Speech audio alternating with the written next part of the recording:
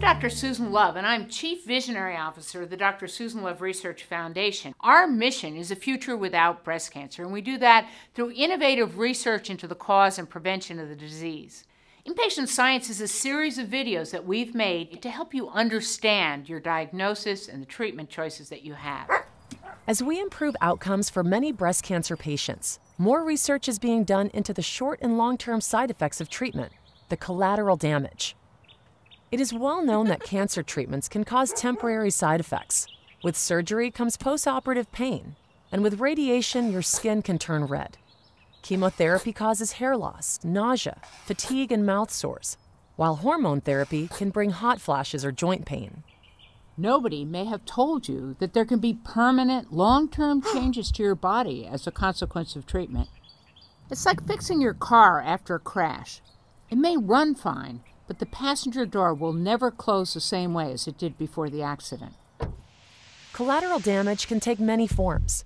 It can appear as lymphedema, which is pain and swelling in an arm or hand, or as peripheral neuropathy, a type of nerve damage that causes pain and numbness in the hands or feet.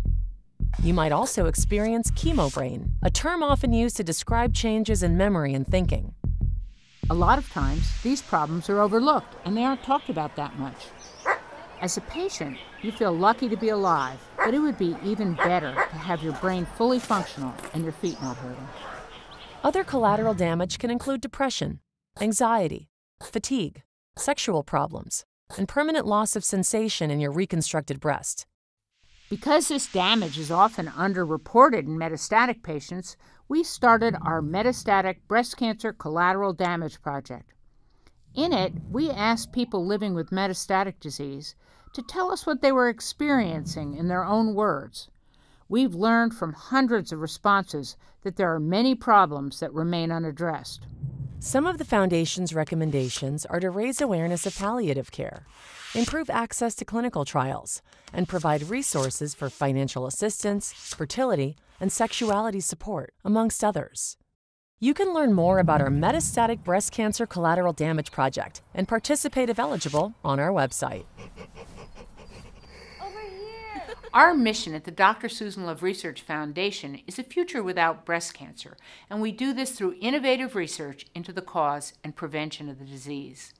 You can join us at drsusanloveresearch.org to participate in our research or to help fund our research because together, and it's going to take all of us, we can be the generation that ends breast cancer.